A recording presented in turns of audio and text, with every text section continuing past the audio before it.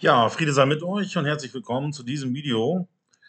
Hier geht es jetzt um ein weiteres Video von dem Herrn Tillmann Knechtel, von dem ich äh, mittlerweile es bereue, überhaupt irgendwas von ihm in meinen Videos dort äh, erwähnt oder auch angeführt zu haben und auch vorgespielt zu haben. Denn es geht hier um sein, sein doppelteiliges Video namens Jesus ist Satan aus der jüdischen Sicht natürlich, was natürlich vollkommen klar ist, äh, weil Satan heißt ja nichts anderes als Feind oder Widersacher. Und dass Jesus der Christus natürlich der absolute Prototyp eines des Feindes und des Widersachers äh, des auserwählten Volkes und seines ihres Gottes des Satans ist, das liegt ja wohl vollkommen auf der Hand und ist nur logisch. Und ja, wie soll ich es sagen?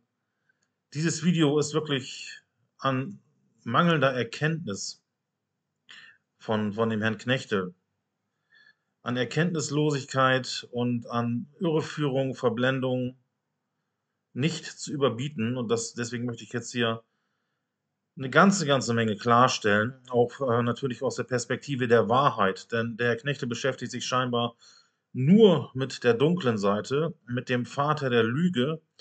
Und deswegen, ja, ist er dort von Lügen umzingelt sozusagen und sieht auch nichts mehr außer Lügen und sieht natürlich die Lüge nicht, vor allem nicht äh, aus der Perspektive der Wahrheit. Ne? Er spricht dort die ganze Zeit von äh, These, Antithese, Licht und Finsternis, als ob das irgendwie eine Erfindung wäre, dass hier die gesamte Menschheitsgeschichte ein Kampf ist zwischen zwei unsterblichen Kräften, nämlich Gut und Böse, Licht und Finsternis. Wer das nicht erkannt hat, er sagt ja selber, wer das nicht erkannt hat, der ist noch am Anfang seiner Reise. Das kann ich ihm nur zurückgeben. Wer das noch nicht erkannt hat, dass äh, dieses ganze Treiben hier des auserwählten Volkes, ihres äh, Gottes dieser Welt, des Satans, Luzifers, gegen das auserwählte Volk des wahren Gottes, nämlich diejenigen, die aus dem Geist göttlicher Liebe wiedergeboren sind, die Braut Christi, dass dies der Kampf ist, der seit Anbeginn der Menschheit geführt wird. Dass, wer das nicht erkennt, der hat noch überhaupt gar nichts erkannt. Überhaupt gar nichts. 0,0. Und wie gesagt, der Herr Knechtel, der rührte und stochert da, wie gesagt, in irgendwelchen Unmengen und, und Türmen von Lügen herum des Judentums. Und äh, ja, ihm mangelt es aber an jeglicher Wahrheit, an jeglicher Erkenntnis, um diese Lügen auch als solche zu erkennen. Er, er selber sagte, er glaubt an gar nichts. Er glaubt auch nicht, dass Jesus jemals existiert hat. Er äh, bezeichnet sich zwar als Agnostiker, er sagt dann, er möchte sich diese Tür, diese Hintertür dann offen lassen, um nicht dann von sich äh, sagen zu müssen, er sei ein Atheist und schließt die Existenz Gottes aus. Aber so wie ich ihn einschätze und jetzt äh, ein, ja, einordne und einschätze, nachdem ich schon viele Videos von ihm gesehen habe, ist er für mich ein absoluter Beweismensch, dem es an Glauben vollkommen mangelt, der nur an die Wissenschaft glaubt, wahrscheinlich auch an die Evolutionstheorie glaubt und so weiter und so fort. Und äh, ja, wie gesagt, er äh, ja, beschäftigt sich dort nur mit der Lüge und weiß diese aber nicht einzuordnen und kennt auch nicht den Grundsatz des Satans, die Wahrheit völlig auf den Kopf zu stellen und zur Lüge zu machen, zum Gegenteil zu machen, ins Gegenteil zu verwandeln. Und dieses Prinzip werde ich euch jetzt hier auch in diesem Verlauf des Videos, das nicht gerade kurz werden wird, äh, auf jeden Fall präsentieren anhand Dutzender Beispiele. Anhand Dutzender Beispiele, wie der Satan dort alle Prinzipien des Heiligen in Unheiliges verwandelt hat. Was man dem Herrn Knechte lassen muss, äh, natürlich hat er mit dem Kern seiner Aussage dort vollkommen recht nämlich dass das heutige Christentum nichts mehr mit dem ursprünglichen zu tun hat, mit den ursprünglichen Lehren äh, und dem heiligen Gesetz, was Jesus der Christus verkündigt hat und äh, gelebt, einem lebendigen Beispiel gelebt und uns gezeigt hat, sondern es wurde natürlich, äh, wie ich schon in Dutzenden Videos gesagt habe, es wurde judifiziert und koscher gemacht. Und äh, ins komplette Gegenteil verwandelt von dem, was äh, Jesus selbst gelehrt und gesagt hat.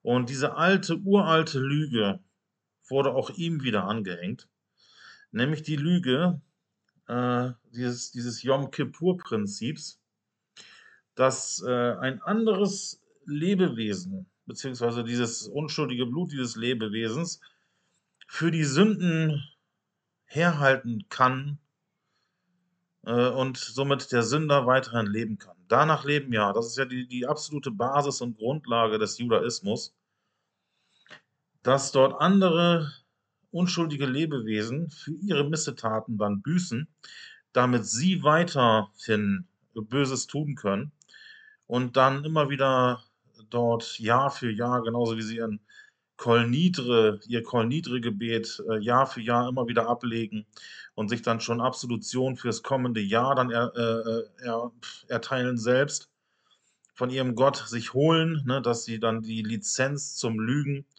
zum Betrügen bekommen.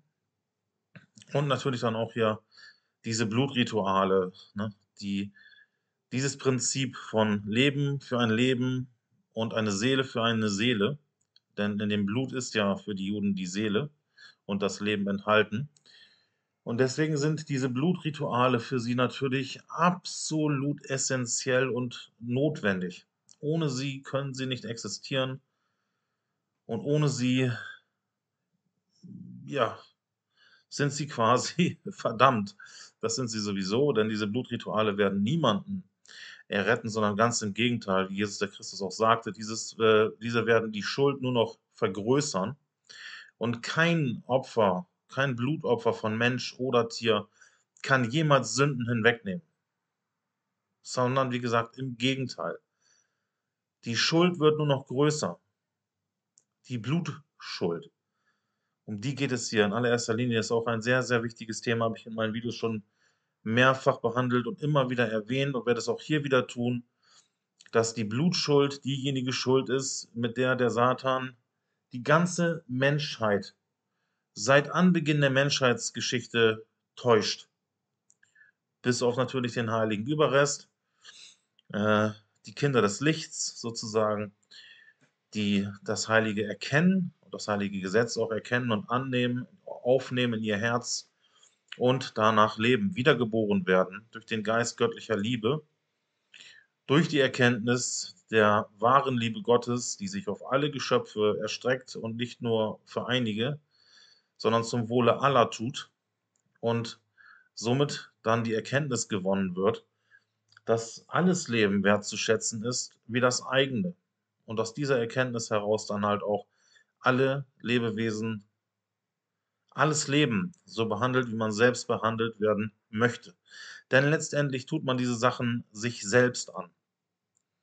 Das, was wir unserer Erdenmutter antun, auch nur irgendeinen Bestandteil dem Reich äh, der Erdenmutter antun, das tun wir uns selbst an. Diese Prinzipien habe ich auch schon dutzendfach erwähnt. Die hat auch Jesus der Christus mehrfach erwähnt, ne, dass das, was wir auch nur dem geringsten seiner und unserer Mitbrüder und Schwestern antun, wir ihm antun. Jedes Unrecht, was wir auch nur dem geringsten seiner Mitbrüder, unserer Mitbrüder und Schwestern äh, äh, geschehen lassen, ohne dabei einzuschreiten, das lassen wir zu, als sei es ihm geschehen. Ja, ich möchte jetzt hier erstmal beginnen mit, ganz am Anfang beginnen, mit dem Schöpfungsmythos und äh, ja, warum sozusagen überhaupt die Schöpfung entstanden ist, warum Gott Leben im Überfluss schaffen wollte und auch dass äh, ja die Geschichte von der Schlange im Paradies, die auch von sehr, sehr vielen missverstanden wird und äh, sogar dann äh, durch die gnostischen Schriften falsch rübergebracht wird, wahrscheinlich sogar absichtlich falsch übersetzt wurde, Ne, diese gnostischen Schriften aus Nag Hammadi wurden über 50 Jahre lang verborgen gehalten und unter Verschluss gehalten. Und erst äh, weit über 50 Jahre danach wurden dann irgendwelche Ver Übersetzungen veröffentlicht, die so schlecht waren und so, ja, einfach nur schlecht übersetzt und unverständlich übersetzt waren, weil sie halt von Menschen übersetzt wurden, die nicht die geringste geistliche Erkenntnis oder dergleichen oder ja auch, äh, wie soll ich sagen, einen christlichen Hintergrund in Anführungsstrichen hatten. Ja, und äh, da fangen wir mal hier mal an. Das ist ja auch hier äh, die Idee des heutigen Satanismus sozusagen, auch der äh, Church of Satan, ne, der Kirche Satans, die ja dann glauben, dass die Schlange im Paradies das Gute oder die Gute war, der Gute, wie auch immer, ne, das den Menschen dann zur sogenannten Erkenntnis geführt hat, damit er dann Gott gleich werden könnte. Das war ja auch die Lüge der Schlange, ne, dass sie gesagt hat, ne, hat Gott etwa gesagt, ihr werdet sterben? Nein, ihr werdet gewiss nicht sterben, sondern ihr werdet werden wie Gott, wenn ihr von diesem Baum esst. Ne? Und äh, ja, die Frage ist jedoch nur, zu welcher Erkenntnis diese Schlange den Menschen, der bis dahin nur das Gute kannte im, im Paradies, im Garten Eden, ne, zu welcher Erkenntnis äh, die Schlange dort den Menschen, Adam und Eva sozusagen, dann gebracht hat. Nämlich natürlich zur Erkenntnis des Bösen. Ne? Der Baum der Erkenntnis von Gut und Böse. Ne? Das Gute kannten sie sowieso schon. Ne? Sie kannten alleine das Gute im Paradies.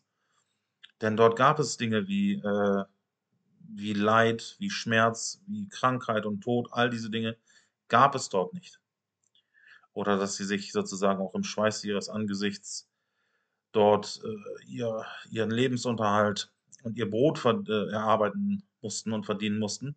Diese Dinge gab es dort alle nicht. Und letztendlich ist es äh, dort die Erkenntnis des Todes, des Bösen gewesen, die dem Menschen dort hinzugefügt wurde. Beziehungsweise zu der der Satan, die Schlange, dort den Menschen verführt hat. Und dies war eine Blutschuld, wie auch im Messinium Gospel geschrieben steht, dass das eine Blutschuld war, Adams und Evas, was auch durch das äh, Second Book of Adam and Eve nochmal untermauert wird. Und das äh, liegt nur auf der Hand, ist nur vollkommen logisch.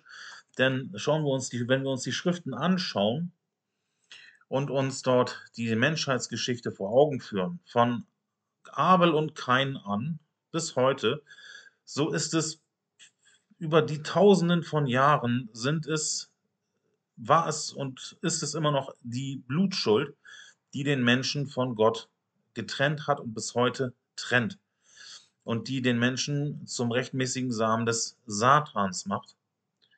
Vor allen Dingen auch durch das Essen von Fleisch, ne, dass er so harmlos daherkommt, ne, weil man ja nur zum Supermarkt gehen muss, äh, da ins Regal greifen muss, aber überhaupt dann nicht sieht, was damit einhergeht, das Blutvergießen, das Leid und Elend, was damit einhergeht, das bekommt man nicht zu sehen, aber man setzt sich dadurch an den äh, Tisch der Dämonen und macht sich dieser Blutschuld teilhaftig. Ne, und die Blutschuld ist das das Werkzeug und Mittel schlechthin, mit dem der Satan die Menschheit von Anfang an zu ihrer eigenen Verdammnis verführt. Ja, kommen wir nochmal zurück zu dieser Erkenntnis hier. Man bedenke hier, wie bei allem, vor allem bei den Juden und ihren Schriften, dass sie und der Satan die Wahrheit und alles äh, auf den Kopf stellt und ins Gegenteil, also in die Lüge, verwandelt. Und somit halt die Finsternis zum Licht macht und das Licht zur Finsternis macht. Die Wahrheit zur Lüge und die Lüge zur Wahrheit. Es wird alles durch den Satan auf den Kopf gestellt. Man kann nicht einfach hergehen und sagen, die Lüge ist eine Lüge und damit zu verwerfen. Und es gibt aber keine Wahrheit, sondern das Gegenteil davon ist die Wahrheit. Und äh, das muss einem bewusst sein. Und aus dieser Perspektive muss man das auch betrachten und verstehen. Und diese Erkenntnis, diese grundlegende minimale Erkenntnis. Scheint sogar Herrn Knechtel zu fehlen, der nicht erkennt, dass dieser Kampf, der hier stattfindet, wie gesagt, auf dieser Erde seit ihrer Erschaffung, der Kampf zweier unsterblicher Kräfte ist, nämlich Licht und Finsternis, Gut und Böse, was für ihn ja nur alles ein Konstrukt ist, der sogenannten Hegel, Hegelschen äh, Dialektik vom Juden erschaffen, damit man diese gegeneinander ausspielen kann. Ja, absolut lächerlich und erkenntnislos. Wenn man hier nicht erkennt, dass der Satan hier, das Böse schlechthin, der Geist des Satanus dieser Welt hier äh, und dieser Welt hier, diese Welt regiert und beherrscht, der Vater der Lüge, der Vater des Schwertes und des Blutvergießens. Wenn man das nicht einmal erkennt, dann frage ich mich, ob diese Leute nicht etwa auf dem Mond oder sonst einem anderen, in Anführungsstrichen, Planeten, wenn es sie dann gibt, äh, leben und nicht hier auf dieser Erde leben. Denn wer das nicht sieht und erkennt, der ist wahrlich, wahrlich blind. So blind, wie man blinder nicht sein könnte. Ja, zum Beispiel sagt hier Jesus der Christus im Messianium Gospel of Christ sagt hier, wenn Adam in Eden von der heiligen Weisheit gegessen hätte, nämlich dem Baum des Lebens, dann wäre der Menschen heute, der Menschensohn heute nicht in eurer Mitte. Also er selbst hätte dann nicht kommen müssen, denn der heilige Baum des Lebens wurde gepflanzt, damit der Mensch die Güte Gottes und nicht etwa das Böse Satans erkennen würde. Was dadurch geschah, dass sie dort von dem sprichwörtlichen, bildlich gesprochenen Baum der Erkenntnis von Gut und Böse gegessen haben. Ne? Wie gesagt, das Gute hatten sie sowieso schon. Sie kannten nur das Gute. Sie hatten zwar noch nicht die Erkenntnis wirklich äh, durch den Baum des Lebens, aber sie kannten nur das Gute. Und nun kannten sie auch das Böse und haben das Böse erkannt, indem sie dort eine Blutschuld manifestiert haben im Garten Eden und wodurch der Tod auf der Erde manifestiert wurde im Garten Eden sozusagen und dann die Herrschaft des Todes, des Satans über diese gewisse Zeit dort äh, ausgelöst hat. diese Zeit muss erst erfüllt werden.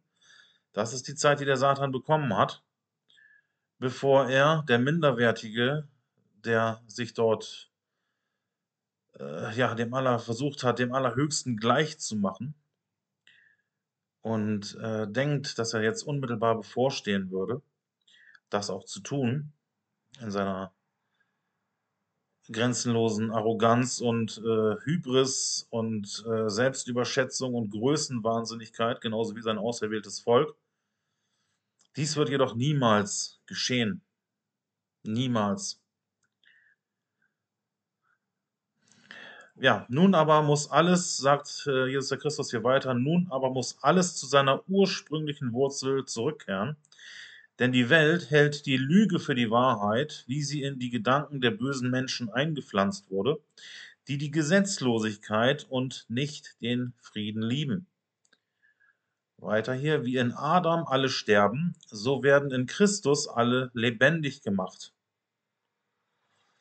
Durch diese Blutschuld Adams diese Erbsünde, kann man sagen, ist die gesamte Schöpfung in die Vergänglichkeit gefallen, in die Herrschaft des Satans, des Todes, den es vorher nicht gegeben hat im Garten Eden und den es auch eines Tages dann äh, nicht mehr geben wird, wenn wir nämlich in Christus wieder auferstehen und lebendig gemacht werden und wenn ultimativ dann auch Christus wiederkommt, um das ewige Friedensreich zu errichten wenn Gott den Zeitpunkt bestimmt, wenn das Maß der Sünde voll ist und er diesem eitlen Treiben auf dieser Welt und des Satans hier ein Ende bereitet und ihn in die äußerste Finsternis verbannt mitsamt all jenen, die seine Lügen lieben und die die Finsternis mehr lieben als das Licht.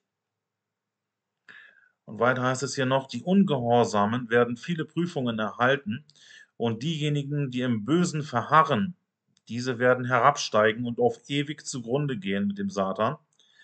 Aber diejenigen, die meinem Gesetz gehorchen, werden das ewige Leben erben. Hm, das ist das Brot und Wasser des Lebens, ne, äh, hat ja Jesus auch zu den ähm, Menschen dort gesagt, die dann wiederkamen, nachdem dort die Speisung stattgefunden hat, der, äh, wie viel waren es dort? Der 2000, ich weiß es nicht mehr genau, ne, wo sie dann wiederkamen und er dann sagt, ne, wahrlich, ihr kommt nicht hier, um, um, um die wahre Speise zu, zu hören oder aufzunehmen, sondern äh, um wieder gesättigt zu werden. Und wo er gesagt hat, strebt nicht nach der äh, irdischen Speise, sondern nach der Speise, die ewiges Leben schenkt. Und das ist das heilige Gesetz. Ne? Wenn man einen Christen fragt, einen Bibelchristen fragt, was ist das, was ist das Brot des Lebens? Das Wasser des Lebens, das ewiges Leben schenkt. Niemand wird einem dort eine Antwort geben können. Niemand. Nicht auch nur annähernd. Sondern sie glauben ja an dieses pervertierte, von den Juden pervertierte Blutopfer, ne, das ja einzig und allein Erlösung schenken kann, was Jesus nicht mit einem einzigen Wort jemals gesagt hat. Im Gegenteil. Im völligen Gegenteil. Ne? Aber dazu der Lüge, die habe ich ja auch schon mehrfach, mehrfach schon vor Jahren, habe ich das ja auch schon, vor Monaten und Jahren habe ich das immer wieder schon gesagt, dass diese Lüge, die schon Mose in die Schuhe geschoben wurde, durch diese Blutopfer, Erlösung durch das Vergießen unschuldigen Blutes, dass diese äh, die, diese Lüge, die vorher schon Mose und Gott in die Schuhe geschoben wurde, wurde nun halt auch Jesus dem Christus in die Schuhe geschoben, um die Lüge weiterhin aufrecht zu erhalten und die Lüge sogar nicht nur im Judentum, sondern in die ganze Welt hinauszutragen. Ja, und weiter lesen wir äh, hier im ähm, Philippus-Evangelium.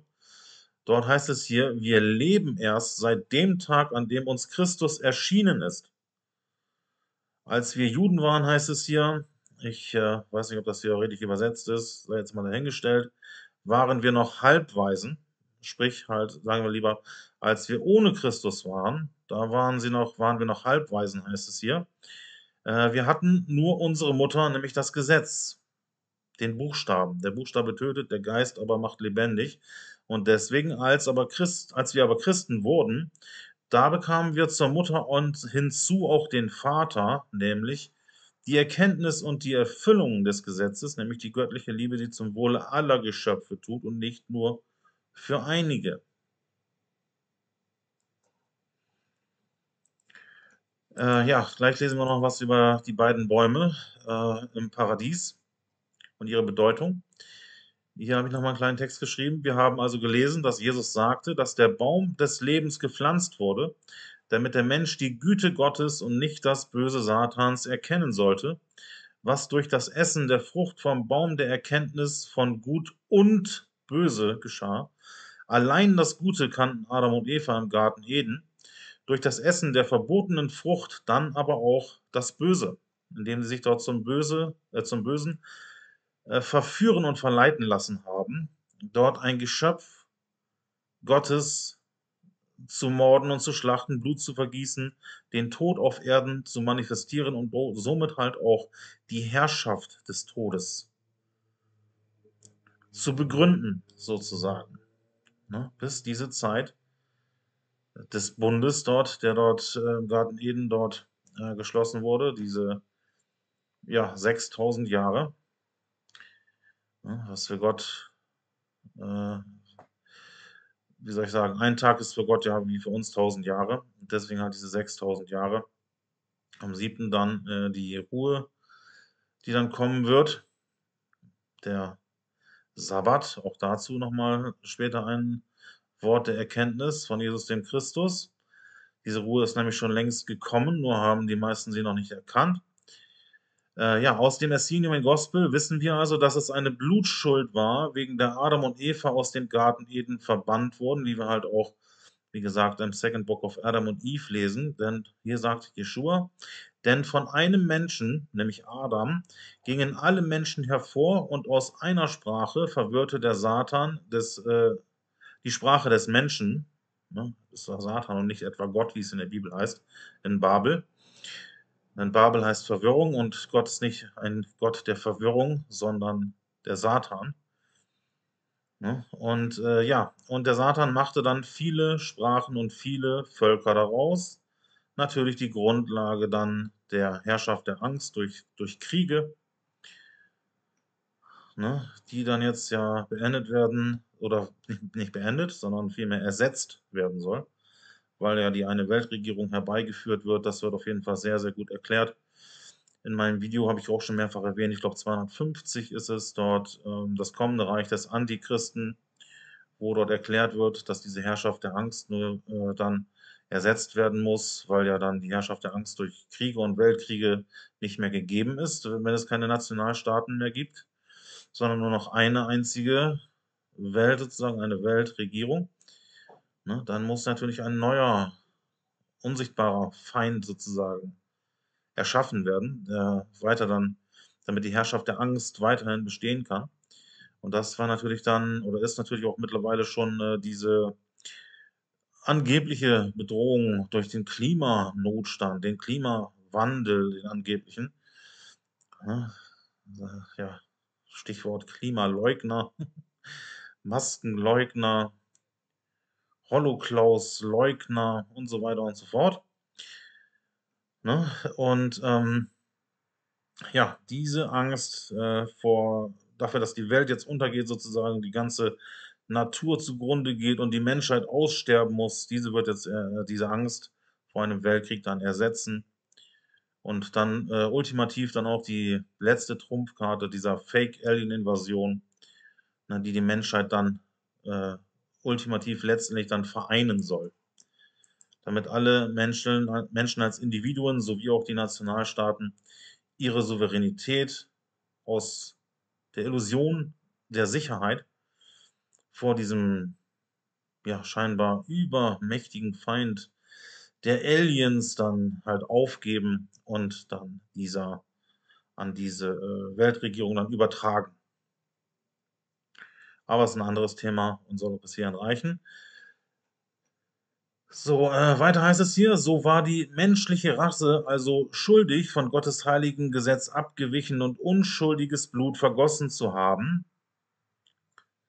Dies ist die Herrschaft der Schuld, denn durch einen Mann, nämlich Adam, trat die Sünde in die Welt und alle Menschen sündigten und alle Menschen starben in Adam und leiden unter Adams Sünde der Blutschuld.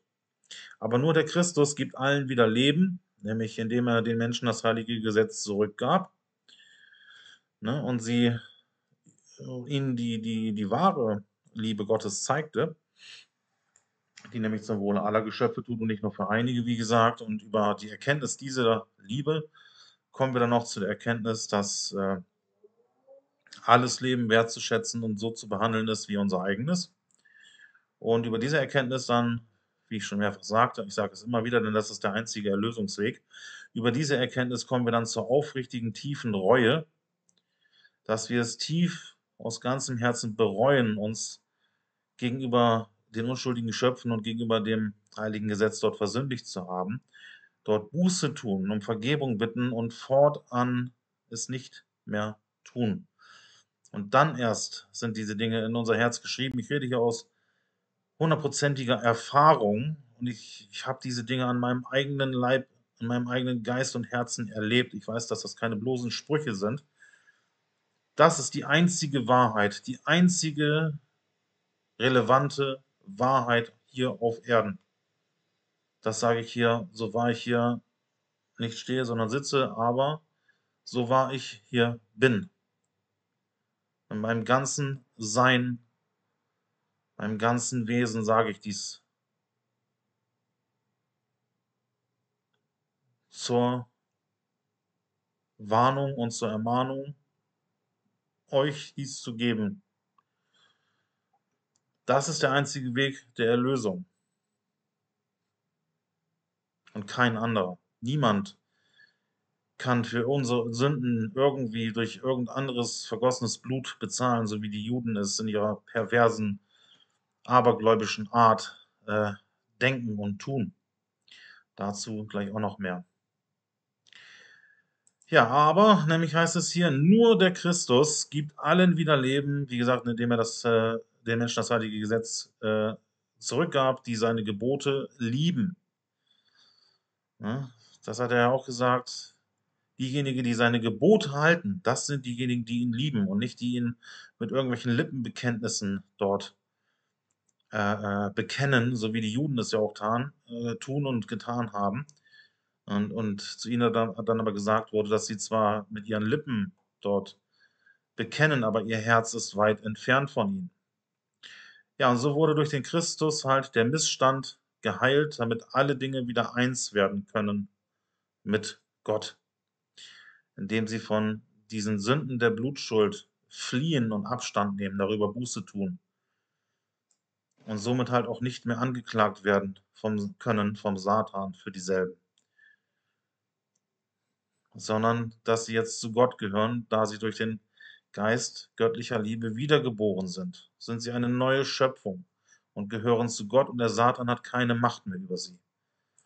Ne, das sind die beiden Arten von Menschen, die es gibt, die, die aus dem Fleisch sind und die, die aus dem Geist sind. Und das hat auch nichts mit Hegelischer Dialektik oder dergleichen zu tun. Das sind einfach Fakten, die ich in meinem eigenen Leben erfahren habe, am eigenen Leib, wie gesagt, meinem eigenen Herzen, meinem eigenen Geist und die zu 100% wahr sind. Weiter sagt hier Jesus der Christus, erbarmt euch über die anderen und die Geschöpfe Gottes und ihr werdet euch im Hause Gottes freuen und das Gute vom Bösen kennen das Gute vom Bösen kennen und trennen, was absolut essentiell wichtig und absolut erforderlich ist, da wir zwangsläufig einem dieser beiden Herren dienen. Ganz egal, ob wir daran glauben, es gibt keine Neutralität im Denken und im Handeln, wir dienen zwangsläufig einem dieser beiden Herren. Wenn wir nicht imstande sind, diese beiden Herren voneinander unterscheiden zu können, dann dienen wir in 99,9999999% aller Fälle dem falschen Herrn, nämlich dem Bösen. Es kann gar nicht anders sein, wenn wir nicht durch den Geist göttlicher Liebe wiedergeboren sind. Ja, denn die ewigen Eltern teilen die Liebe mit allen sichtbaren und unsichtbaren Dingen und bringen alle Arten von Leben hervor, Warum? Damit die Liebe in jedem Stadium und in jedem Zeitalter verwirklicht wird. Wenn ihr nicht liebt, seid ihr in allen Dingen tot und alle Dinge sind für euch tot. Lernt die wahre Liebe nach dem Willen Gottes, damit ihr alle den Segen erben könnt, der für diejenigen vorgesehen ist, die die Liebe kennen und lieben. Denn die Liebe tut zum Wohl aller und nicht nur für einige. Dieser Segen, den wir hier erben können, von dem die Rede ist, natürlich unser Erstgeburtsrecht zum ewigen Leben, dazu später auch noch einiges mehr. Ja, die Liebe kümmert sich um die Geschöpfe Gottes und sucht nicht ihre, etwa ihren eigenen Lohn, sondern den Lohn anderer. Das Wort Dinge könnte man hier auch weglassen, denn es geht hier äh, nicht um Dinge, sondern um Lebewesen. Ja, Liebe ist die Schönheit des Gesetzes, die durch den Menschensohn verwirklicht wurde. Er lehrt die Wahrheiten Gottes, damit die Menschen die Liebe Gottes erkennen, die der Welt durch den Satan vorenthalten wird. In jeglicher Beziehung, auch in der Bibel, auch und vor allem in der Bibel. Auch hier nochmal, eine weitere Aussage. Hier sagt der Christus, denkt nicht, dass ich gekommen bin, um das heilige Gesetz oder die Propheten abzuschaffen oder um sie durch Neues zu ersetzen. Nein, ich komme, um das Gesetz auszulegen und die Macht des Gesetzes zu demonstrieren. Wahrlich, ich sage euch, das heilige Gesetz ist vollkommen und steht über jedem Gesetz der Menschen und der Teufel, denn nichts kann das Gesetz herausfordern und bestehen.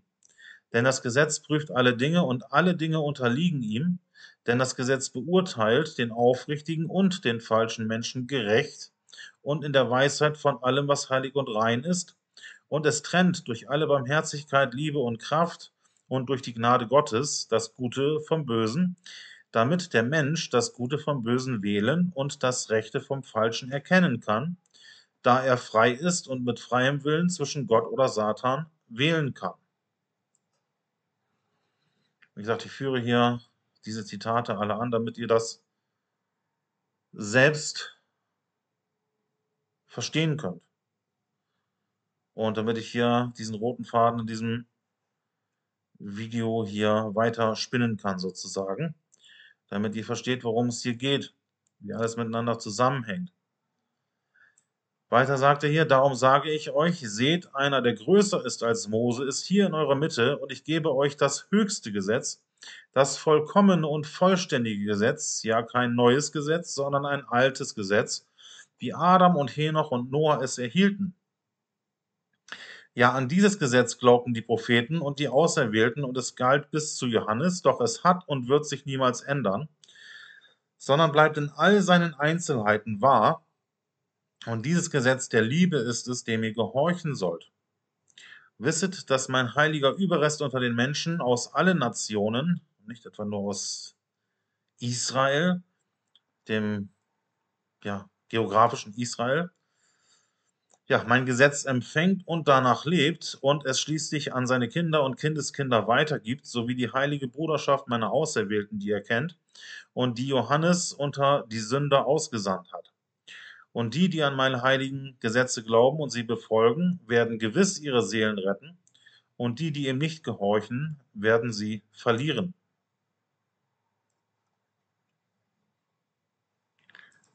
Ja, mit entsprechender Vorsicht äh, äh, in dem Wissen, dass der Satan sich natürlich auch äh, in der Bibel offenbart hat, allzu oft, nicht nur, aber allzu oft, ist dem halt auch äh, dementsprechend mit äh, entsprechender Vorsicht dann auch die Geschichte der Verbannung Adams und Evas aus dem Garten Eden zu lesen in der Bibel. Dort heißt es ja, und der Herr Gott gebot dem Menschen und sprach, von jedem Baum des Gartens darfst du essen, nur vom Baum der Erkenntnis des Guten und Bösen darfst du nicht essen. Denn an dem Tag, da du davon isst, musst du sterben. Und die Schlange war listiger als alle Tiere des Feldes, die der Herr Gott gemacht hatte. Und sie sprach zu der Frau, hat Gott wirklich gesagt, von allen Bäumen des Gartens dürft ihr nicht essen? Da sagte die Frau zur Schlange, von den Früchten der Bäume des Gartens essen wir, aber von den Früchten des Baumes, der in der Mitte des Gartens steht, hat Gott gesagt, ihr sollt nicht davon essen und sollt auch sie auch nicht berühren, damit ihr nicht sterbt. Da sagte die Schlange zur Frau, keineswegs werdet ihr sterben, sondern Gott weiß, dass an dem Tag, da ihr davon esst, eure Augen aufgetan werden und ihr sein werdet wie Gott, erkennend Gutes und Böses. ja, sobald man die Erkenntnis von Gut und Böse hat, beides kennt, ist sozusagen, äh, wird sozusagen das heilige Gesetz aktiviert, sozusagen. Sobald man das Böse auch erkannt hat, tritt das heilige Gesetz in Kraft, das seit Tagen von Adam und Eva Richter über die Lebenden und Toten ist.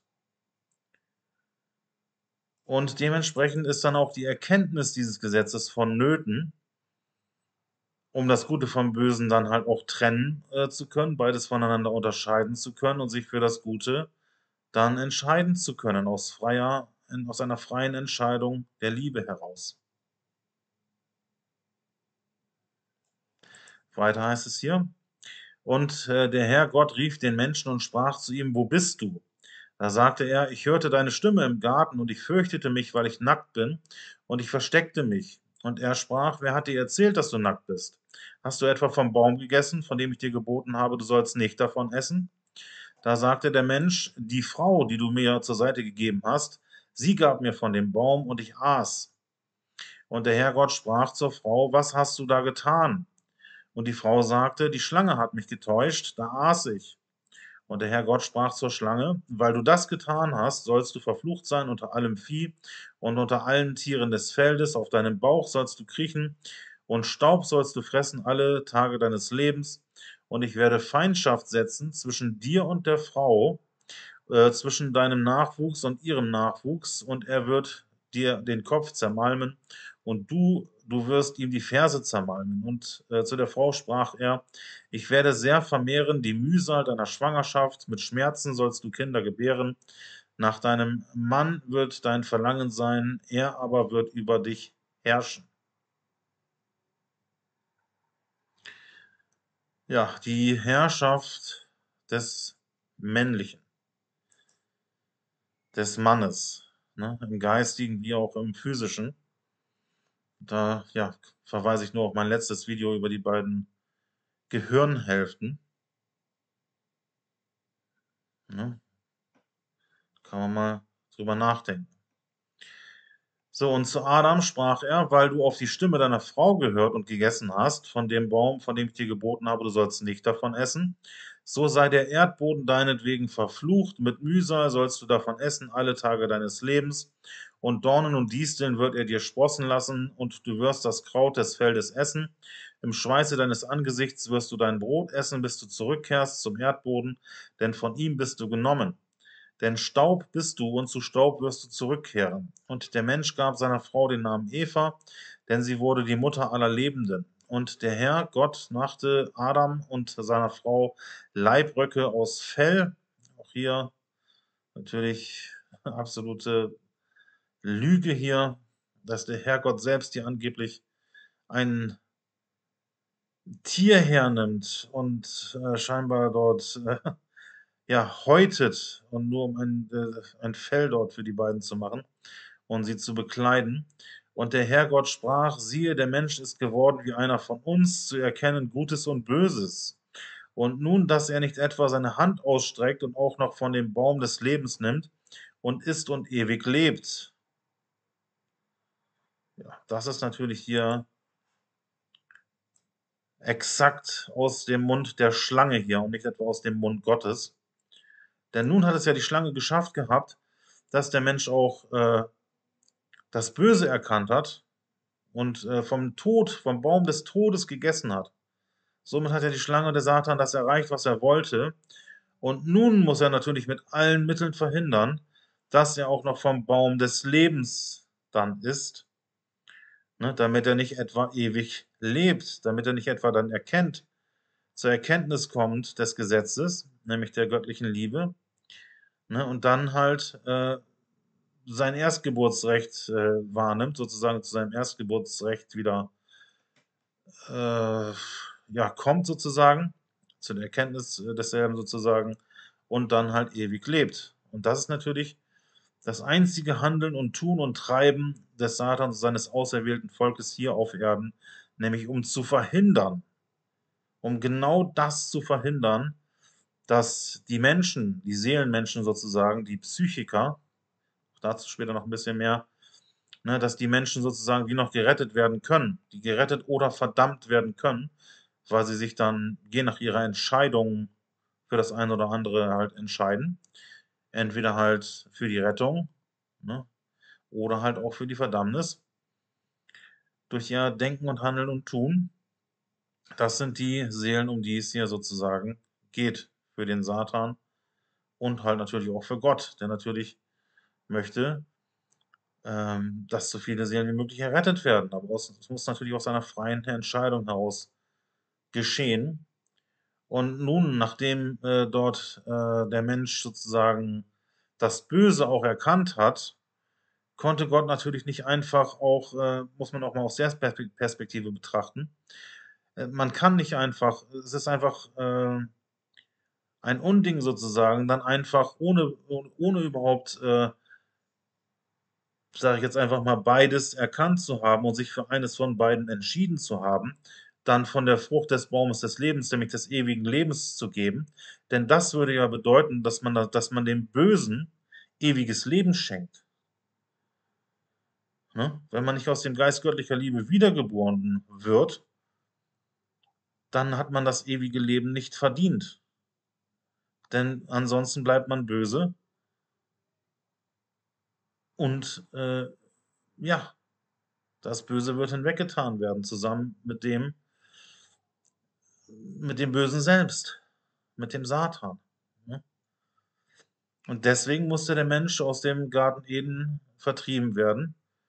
Und die all diese äh, Trübsal und dieses Leid und die Schmerzen und die Krankheit und den Tod, all das musste er hier, jetzt müssen wir hier durchleben, um zu dieser einen Erkenntnis zu kommen, damit wir wieder eins werden können mit Gott und unser Erstgeburtsrecht dort in Empfang nehmen können, was schon vor Grundlegung der Welt für uns bereitgelegt wurde. Ne? Wie gesagt, ohne äh, diese Wiedergeburt durch den Geist göttlicher Liebe dann von dem Baum der, der, des Lebens essen zu lassen, würde, wie gesagt, bedeuten, dass man dem Bösen ewiges Leben schenkt. Dass Gott das Böse züchten würde, sozusagen. Ne? Das muss man natürlich auch noch bedenken. Und letztendlich war das aber auch alles Vorhersehung und alles musste so geschehen, wie es geschehen ist. Es konnte nicht anders geschehen, denn das ist der zwangsläufige Weg, wenn es hier um Liebe und freien Willen geht. Dann geht es nur so. Dann ist das ein, ein notwendiges, zwingendes Übel, sozusagen. Es gibt keinen anderen Weg, außer dass Gott sozusagen äh, den Menschen so geschaffen hätte, dass er gar keine freie Wahl gehabt hätte und nur die Liebe das Gute hätte wählen können. Ne, dann wäre es aber ja ohne Wert und ohne Erkenntnis vor allen Dingen.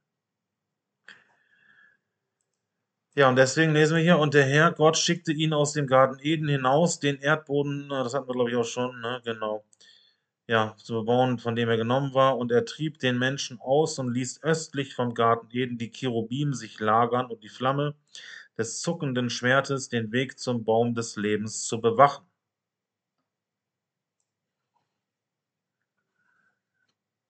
Das wäre natürlich im Sinne der Schlange gewesen, natürlich. Ne? Dass äh, ja, der Mensch ohne Erkenntnis äh, sozusagen ne, äh, dann vom Baum des Lebens essen könnte, damit das Böse dann ewig lebt. Das wäre natürlich im Sinne der, der Schlange gewesen, aber nicht etwa im Sinne Gottes. Und auch nicht im Sinne derjenigen, die aus Gott sind die wirklich aus der Wahrheit sind und aus der Liebe sind. Denn sonst würde ja das Gute ewig mit dem Bösen zusammenleben und das Böse könnte nie beseitigt werden, hinweggetan werden, wo es hingehört, nämlich in die äußerste Finsternis. Ja, hier nochmal aus dem, Fluch, äh, aus dem äh, As Seen in Gospel of Christ zu dem Fluch der Angst und des Schreckens.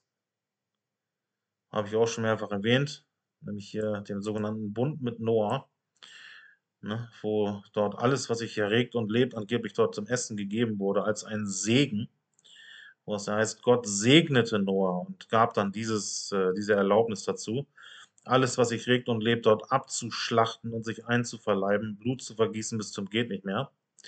Ne, obwohl ja gerade zuvor dort die Sintflut gekommen war wegen all des Blutvergießens. Auch da wieder eindeutig, wer dort Vater dieses Gedankens war, nämlich der Vater der Lüge natürlich. Deswegen sagt auch äh, Jesus der Christus hier im Messianium Gospel, zu einem äh, späteren Zeitpunkt lesen wir, nachdem Jeschua den Pharisäern viele andere Dinge gesagt hatte, kamen einige der Schriftgelehrten und Ältesten aus dem Tempel zu Jesus und sagten, Sage uns, warum lehren deine Jünger die Menschen, dass es verboten ist, das Fleisch der Tiere zu essen, die als Opfer dargebracht werden, so wie Mose sie bestimmt hat? Denn Gott sagte zu Noah, sagen sie hier, die Furcht und der Schrecken vor dir, also vor dem Menschen, soll auf dem Tier des Feldes und jedem äh, Vogel der Luft und jedem Fisch sein. In deine Hand habe ich sie dir gegeben. Macht euch sie untertan, heißt es da ja. Warum sprichst du also dagegen, fragen sie hier Jesus den Christus. Darauf sagte er zu ihnen, diese gute Erde, die mein Vater Mutter zur Freude und zur Fröhlichkeit gemacht hat, habt ihr mit euren bösen Taten der Gewalt und Grausamkeit in die untersten Regionen der Hölle verwandelt. Warum muss der Stärkere immer den Schwächeren ausbeuten? Ich sage es euch, nämlich seit Satan die heilige Schöpfung Gottes verflucht hat, ist nichts auf der Erde vor unheiligen Menschen wie euch sicher, bis dass der Menschensohn in all seiner Herrlichkeit kommt und jedes Geschöpf von dem Fluch der Angst und des Schreckens befreit. Auch sagt Jesus dort in dem äh, Cinnamon Gospel, dass Gott weder Mensch noch Tier verflucht hat, sondern dies natürlich der Satan gewesen ist. Denn aus Gottes Mund kann kein Fluch kommen. Auch diesen, dieses Prinzip lesen wir äh, in der Bibel mehrfach. auch von Jakobus zum Beispiel. Äh, ich glaube, Jesus selbst hat es äh, auch gesagt, äh, ne, dass aus einer Quelle nicht gleichzeitig süßes wie auch bitteres Wasser hervorgehen kann. Ne? Und das sagte ja auch dann Jakobus, ne? wenn wir gleichzeitig mit unserer Zunge Gott preisen, aber Menschen verfluchen, ne, dann ist unser Gottesdienst nichtig.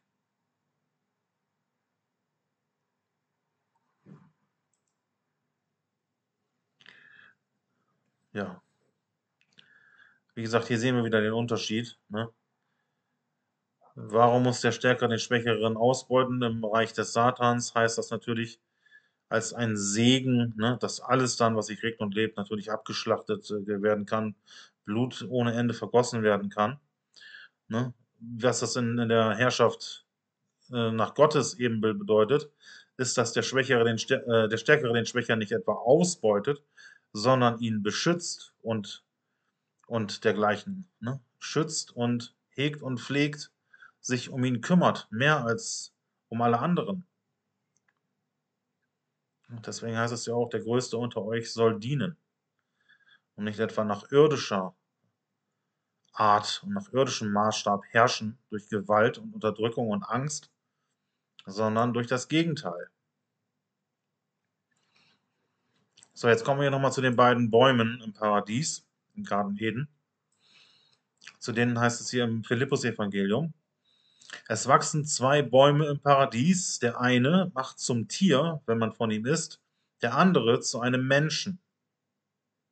Nämlich zu dem Menschen, der wirklich im Ebenbilde Gottes ist, zum Christus, dem Erstgeborenen, dem wahren Abbild des himmlischen Vaters, in dem auch die ganze Fülle des Vater, Mutter Gottes ist, genauso wie im Heiligen Geist, im göttlichen Weiblichen, wie auch im göttlichen Männlichen, ist die ganze Fülle des Vaters vorhanden.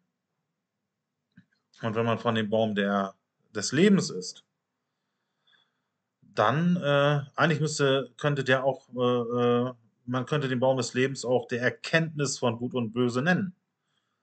Ne? Und der, der Baum der, der Erkenntnis, der Baum der Erkenntnis von Gut und Böse genannt wird, der müsste eigentlich der Baum des Todes heißen. Der Baum der Erkenntnis des Bösen alleine. Deswegen hat auch der Baum des Todes.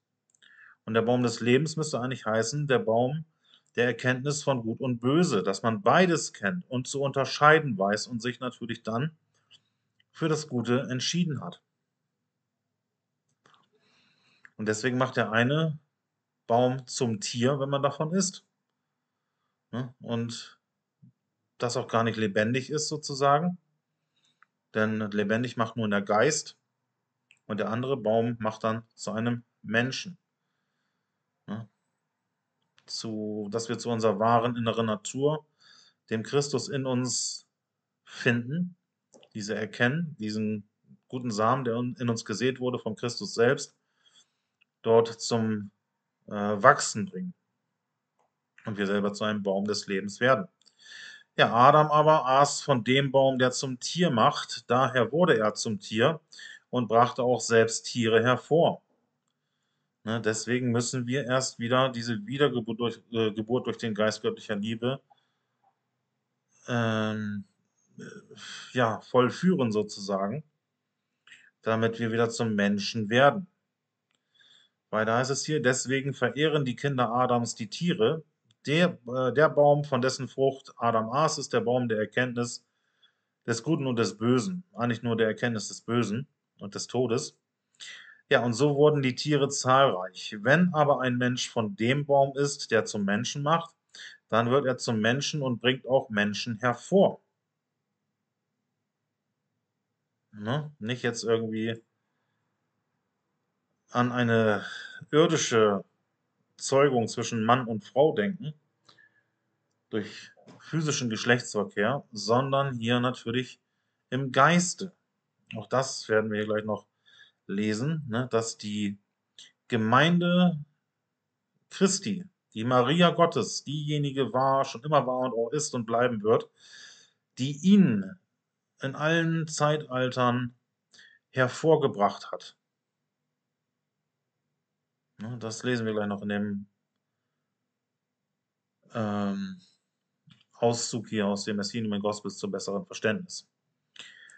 Ja, dann verehrt der Mensch auch den Menschen, den Menschensohn sozusagen, den wahren Menschen, der im Ebenbilde Gottes geschaffen wurde und somit halt verehrt er dann auch Gott.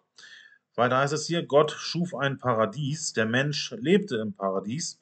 Es gibt keine Trennung darin und der Mensch lebte darin im Angesichte Gottes. Dort existiert die Einheit und unter den Menschen ist keine Trennung. Dieser Garten ist der Ort, wo zu mir gesagt werden wird, Mensch, ist dies oder ist jenes nicht, ganz nach deinem Wunsch. An diesem Ort also werde ich alle Dinge essen, da sich hier der Baum der Erkenntnis des Lebens befindet. Der Baum der Erkenntnis des Bösen eigentlich, wie gesagt, des Guten und des Bösen, ist eigentlich meines Erachtens hier ein falscher Ausdruck. Denn der Baum der Erkenntnis des Guten und des Bösen ist meines Erachtens hier gleichzusetzen mit, der, mit dem Baum des Lebens. Wie schon eben gesagt, ja, der Baum der Erkenntnis des Bösen also tötete Adam und der Baum der Erkenntnis des Lebens, ne, der Erkenntnis von Gut und Böse, der, dass man beides kennt und unterscheiden kann, sich für eins entschieden hat, nämlich für das Gute, macht dann den Menschen erst lebendig. Der Baum, der das Gesetz ist, äh, tötet, also der Baum des Todes, der Baum der Erkenntnis des Bösen, der tötet. Er hat zwar die Fähigkeit, die Erkenntnis des Guten und des Bösen zu verleihen, aber er entfernt den Menschen weder vom Bösen, noch hält er ihn im Guten, sondern er bewirkt Tod für alle, die von ihm essen. Denn dadurch, dass gesagt wird, es dieses und es jenes nicht, dass also ein äußeres Gesetz aufgestellt wird, wird der Baum zur Ursache des Todes.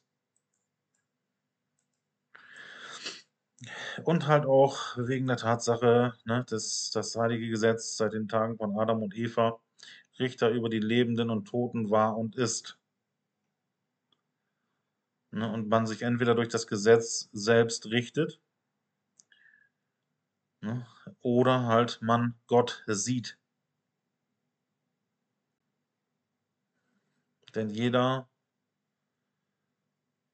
Mensch wird nach seinen Taten oder auch unterlassenen Taten der Nächstenliebe beurteilt werden. Und äh, ja, dort nach diesem Kriterium werden die Schafe von den Böcken getrennt, wie es in der Bibel heißt. Und die einen zum ewigen Leben, die anderen zur ewigen Schande, zur ewigen Trennung von Gott.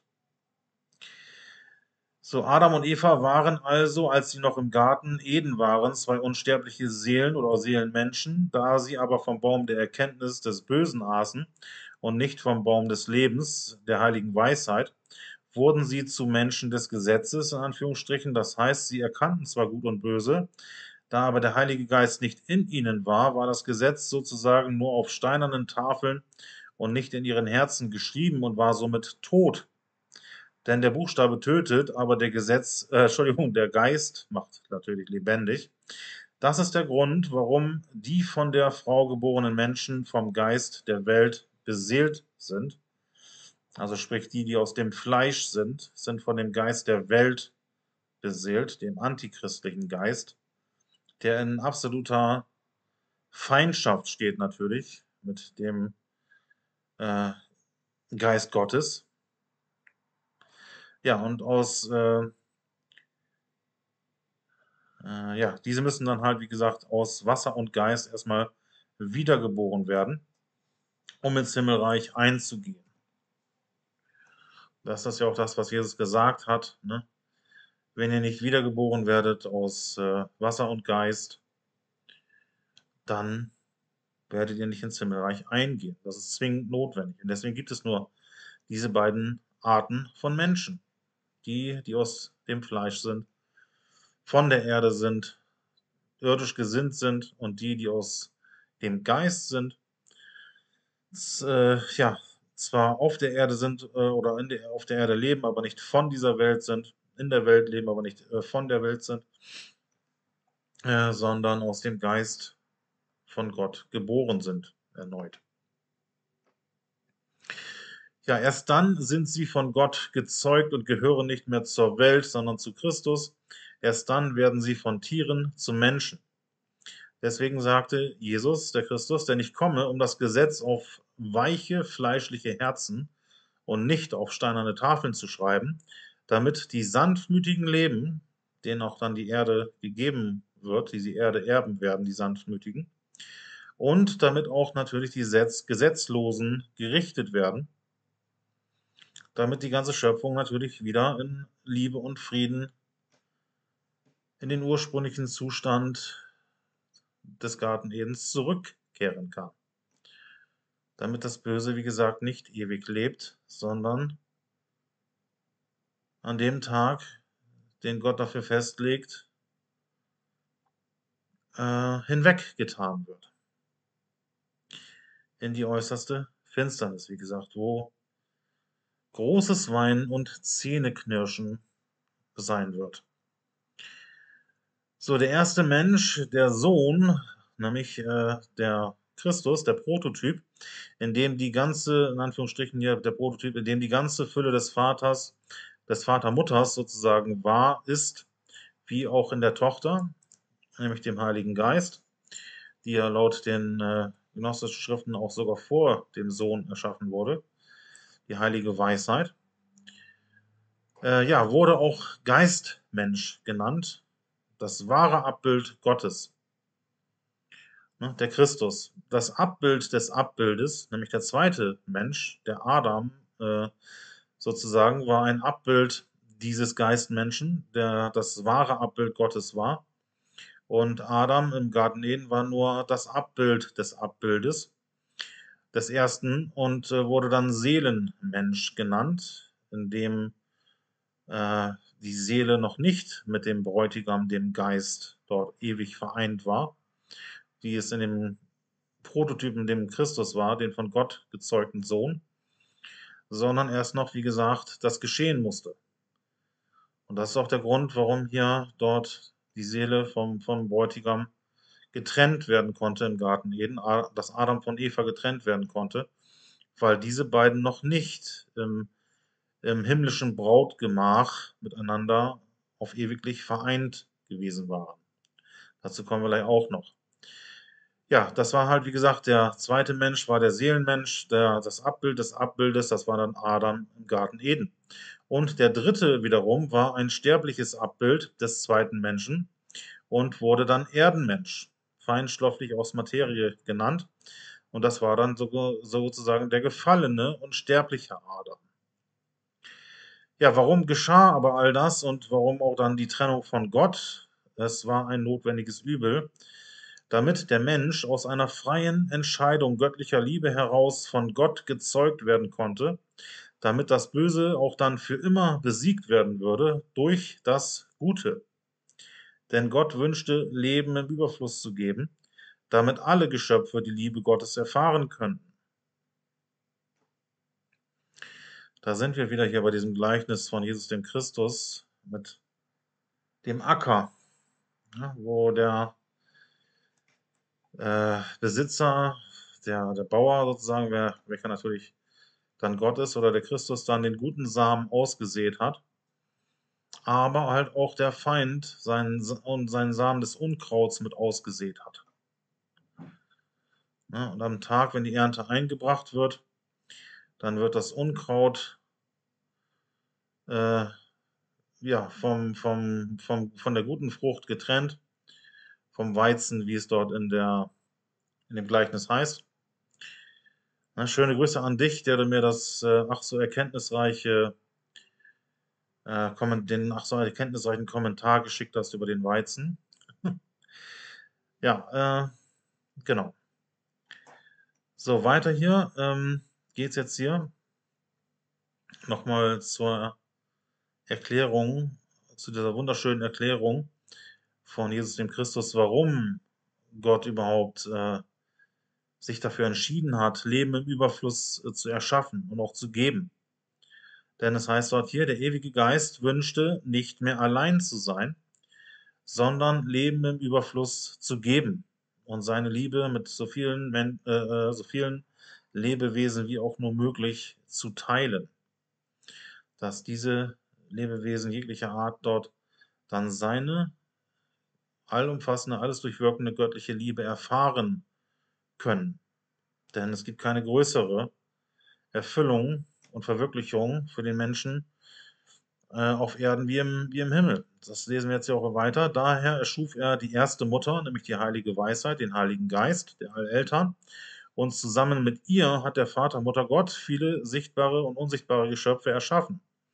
Ja, großartig sind die Wunder der Alleltern und dem irdischen Menschen wenig bekannt. Weiter heißt es hier, denn der ewige Geist drückte am Anfang aus, dass die Liebe allen Dingen bekannt gemacht werden sollte, und der ewige Allvater formulierte weiterhin den Willen seiner Liebe, indem er in jede Schöpfung den Wunsch pflanzte, Liebe geben und Liebe empfangen zu wollen. Denn geliebt zu werden und in Liebe zu teilen, ist der Wille des Vater, Mutter Gottes, der mich in die Welt gesandt hat, damit die, die die Liebe missbraucht haben, wissen und verstehen würden, dass Gottes Liebe und Barmherzigkeit unbegrenzt sind und nicht in menschlichen Werten gemessen werden können. Auch absolut, absolut essentiell hier in der Erkenntnis, auch in der Erkenntnis über die Kraft des Kreuzes, die nicht etwa in einem Blutopfer bestand, sondern in diesem Zeugnis der göttlichen Liebe gegenüber der gesamten Schöpfung, gegenüber dem heiligen Gesetz und der Wahrheit damit die Menschen über diese Erkenntnis zu dieser einen alles entscheidenden Erkenntnis, der Erkenntnis der göttlichen Liebe, die zum Wohle aller Geschöpfe tut, kommen. Alles andere ist dann, sind nur noch Automatismen sozusagen, die dann zu dieser Wiedergeburt im Geist der göttlichen Liebe führen. Wer zu dieser Erkenntnis gekommen ist, der kommt zwangsläufig zu dieser tiefen Reue, zu dieser tiefen Buße und Umkehr. Es ist Zwangsläufig, es geht nicht anders. Und deswegen ist das alles Entscheidende, diese eine Erkenntnis der wahren, alles umfassenden Liebe Gottes, die zum Wohle aller Geschöpfe tut. Weiter heißt es hier, ihr sollt daher wissen, dass Gott jeder Kreatur Freude an der Liebe gegeben hat, damit diese Kreaturen die Liebe Gottes erfahren können, denn Gott ist in allen Dingen und alle Dinge sind in Gott. Mit Dinge sind hier, wie gesagt, keine Dinge gemeint, sondern alles Leben. Ne? Alles Leben ist Gott und Gott ist in allem Leben. Wisse daher, dass die Liebe die Erfüllung des Willens und des Gesetzes Gottes ist. Ich sage es nochmal, die Liebe, die zum Wohle aller Geschöpfe tut und nicht nur für einige. Und die, die seine Gebote halten, die teilen diese große Liebe. Es gibt keinen größeren Segen und keine größere Verwirklichung für den Menschen, als die Liebe Gottes zu kennen. Und diese Liebe wird nicht nur zum Segen dann für den äh, jeweiligen Menschen, sondern für alle. Für alle, mit denen er sozusagen in Kontakt und in Berührung kommt. Ja, denn diejenigen, die zur Erkenntnis des einen Vaters kommen, kommen zum Wissen über die große Familie des Lebens, der großen Familie Gottes. Ja, ich sage euch heute, das Leben ist der Weg zur Liebe und die Liebe ist der Weg zum innigen Leben. Liebt euch und die Geschöpfe Gottes und alle Arten von Frieden und Freude werden über euch kommen. Erbarmt euch über die anderen und die Geschöpfe Gottes und ihr werdet euch im Hause Gottes freuen und das Gute vom Bösen kennen.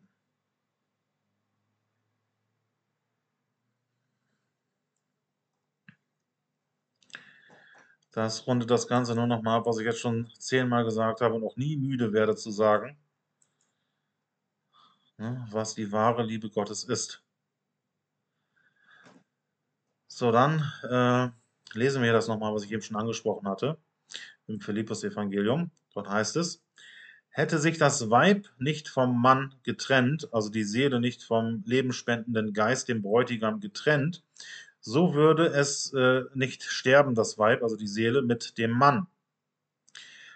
Äh, die, diese Trennung ist die Ursache des Todes. Deshalb kam Christus, damit er die Trennung, die vom Anfang der Welt bestand, wieder beseitige, sie beide vereinige und allen, die durch die Trennung gestorben waren, Leben gebe und sie wieder vereinige. Die Seele wieder mit ihrem Bräutigam, dem Christus, vereinige, nachdem sie sich dann wieder gereinigt und für ihn in Anführungsstrichen geschmückt, beziehungsweise natürlich dann wieder gereinigt und für ihn in ihren jungfräulichen Zustand sozusagen äh, zurückversetzt hat, sich von allem, von aller Unreinheit gereinigt hat. Vor allen Dingen natürlich von Dingen der Blutschuld und der Unzucht. Weiter heißt es hier im Brautgemach, aber ist es, nämlich im himmlischen Brautgemach, wo sich die Frau, die Seele also, die gereinigte, geläuterte Seele mit ihrem Gatten, dem lebenspendenden Geist, dem Christus, dann vereinigt für immer und dann auch nie wieder getrennt werden kann. Wer sich im Brautgemach, im himmlischen Brautgemach vereinigt, der trennt sich nie mehr. Dann ist die Seele zum ewigen Leben gekommen, da sie mit dem Bräutigam dann vereinigt wurde, für immer. Eva konnte sich von Adam trennen, heißt es hier, da sie noch nicht mit ihm verbunden gewesen war, im Brautgemach im Garten Eden. War sie noch nicht mit äh, ihrem Bräutigam dort vereint. Ne? Denn dort kannte ja, dort kannten sie ja nur das Gute, hatten auch keine andere Wahl sozusagen, weil sie ja nur das Gute kannten und das Böse noch nicht. Dann aber halt, wie gesagt, das Böse auf Erden manifestiert haben, dadurch, dass sie sich dort von dieser, äh, ja, zum Essen in Anführungsstrichen dieser Frucht verführen lassen haben durch die Schlange und dann halt durch eine Blutschuld dort den Tod manifestiert haben und den Tod über die Schöpfung gebracht haben. Und damit auch dessen Herrschaft für diese gewisse Zeit. So, hier haben wir noch was aus dem dreiteiligen Traktat, ebenfalls aus, der, aus den Nakamadi-Schriften. Dort lesen wir über die Schlange und die Verführung im Garten Eden folgendes. Ja, leider ist dort, wie gesagt, sind diese Nakamadi-Schriften sehr dürftig übersetzt worden und haben auch viele Lücken, wo dann an, teilweise an entscheidenden Stellen dann irgendwelche Worte fehlen. Äh, das wahrscheinlich auch nicht zufällig so ist. Aber trotzdem habe ich es hier mal äh, mit angeführt. Dort lesen wir hier, der erste Mensch aber ist ein gemischtes, geformtes und ein gemischtes Gebilde und ein Niederlegen der Linken oder derer der Linken und derer der Rechten. Und ein pneumatisches Wort, wobei seine Meinung geteilt ist äh, zwischen jedem der beiden Wesen, von denen er seine Existenz empfangen hat. Das klingt jetzt erstmal sehr, sehr kryptisch, aber ich werde es gleich erklären der erste Mensch, von dem hier die Rede ist, das ist auch nicht etwa äh, der von Gott gezeugte Sohn, äh, der, der Christus, ne? der äh, Erstgeborene Gottes, der, in dem alle Fülle des Vatermutters dort vorhanden war, sondern das ist das Abbild des Abbildes, nämlich Adam im Garten Eden. Er wurde dann halt geformt und auch gezeugt, einerseits geformt durch Materie, ähm, äh, aber äh, beziehungsweise halt durch, durch äh, ja, wie soll man sagen, Materie war es ja noch nicht. Aber es war halt trotzdem ein, eine Gestalt sozusagen, ein Gebilde. Und ähm, ja, es wurde, wurde ja geformt ne, von den wie es dort in den gnostischen Schriften halt, äh, heißt, halt auch von den Archonten, von dem Demiurgen. Es war aber dann noch kein Leben in ihm, sondern dieses musste ihm erst eingehaucht werden, nachdem die Sophia, die heilige Weisheit, dann dem Demiurgen ihre Kraft geliehen hat, sozusagen, äh, gegeben hat. Und dann hat der Demiurg dort dem Menschen, dem Adam, das Leben eingehaucht. Und da ist die Kraft der Sophia wieder aus ihm gewichen, aus dem Demiurgen und in den äh, Adam übergegangen. Und in dem Moment war der Adam äh, im Garten Eden mächtiger als dort der Demiurg selbst. Der Demiurg dachte aber halt, der Jaldabaoth, dachte dort in seiner Hybris, in, seiner, in seinem Größenwahn, in seiner Selbstüberschätzung, seinem Stolz, er habe die, all diese Dinge erschaffen. Im Endeffekt war es aber natürlich der Heilige Geist, der dort in heiliger Union mit dem heiligen Logos gewirkt und äh, die Dinge erschaffen hat. Ja, und äh, derer der Linken und derer der Rechten, die in ihn niedergelegt wurden, heißt es hier, Das ist natürlich hier ne, der Link, die Linken, die zur Linken und die zur Rechten. Das ist dann einmal halt natürlich die. Es gibt ja auch den, den Right-Hand-Path und den Left-Hand-Path. Einmal ne, der, jetzt die zu Gott gehören und dann halt, also man kann sagen halt hier, dass das Gute und das Böse halt in ihm waren. Der gute Same war in ihnen. Dieser musste aber halt erstmal durch den Geist göttlicher Liebe dann wiedergeboren und zum Wachsen gebracht werden. Ne? Und somit war halt beides in ihm. Und dann auch halt dieses äh, pneumatische Wort. Das ist halt halt äh, der, also das ist pneumatisch heißt der Geist, auf den Geist bezogen. Damit könnte man halt auch den äh, inneren Christus äh, verstehen, der damit gemeint ist. So, ähm, deswegen sagt man, dass ein Paradies für ihn gepflanzt wurde, sodass er, sodass er essen möge. Denn das adlige, auserwählte Wesen, welches im Menschen ist, war sehr erhaben. Deswegen haben die Archonten einen Befehl gegeben, wobei sie Drohungen ausstießen und über ihn eine große Gefahr brachten, welcher der Tod ist. Ja, damit ist hier mit Sicherheit, an Sicherheit grenzender Wahrscheinlichkeit gemeint, nämlich dass dort ihnen natürlich gesagt wurde, von allen Bäumen könnt ihr essen, nur von diesem einen, wenn ihr davon esst, werdet ihr gewiss sterben. Weiter heißt es hier, allein der Genuss der Dinge, die schlecht sind, ließ er ihn kosten, und von dem anderen Baum, der die zweifache Frucht hat, ließ man ihn nicht kosten, erst recht nicht vom Baum des Lebens, damit sie nicht Ehre erlangen, hier sind jetzt wieder diese Stellen, wo die Worte fehlen, die natürlich überaus interessant gewesen wären, gerade an dieser Stelle. Ne, warum er jetzt nicht hier von dem Baum des Lebens essen sollte. Ne, aber das habe ich ja eben schon erklärt. Ne? Natürlich, um zu verhindern, dass nicht das Böse, dass nicht dem Bösen ewiges Leben geschenkt wurde, sondern nur denjenigen, die zur Erkenntnis von Gut, zur wirklichen Erkenntnis von Gut und Böse gekommen sind und dann sich für das Gute entschieden haben und durch den Geist göttlicher Liebe wiedergeboren wurden. Nur diese dürfen von diesem Baum des Lebens essen und ewig leben, nicht etwa die Bösen oder das Böse. Ja, damit sie nicht Ehre erlangen, hier heißt es hier, dann fehlt ein Wort sie und damit sie nicht seien, fehlt wieder was dann durch die böse Kraft, welche die Schlange genannt wird. Sie, die Schlange, ist aber gerissener als alle bösen Kräfte. Sie führte den Menschen in die Irre. Sie ließ ihn den Befehl übertreten, so dass er sterben möge.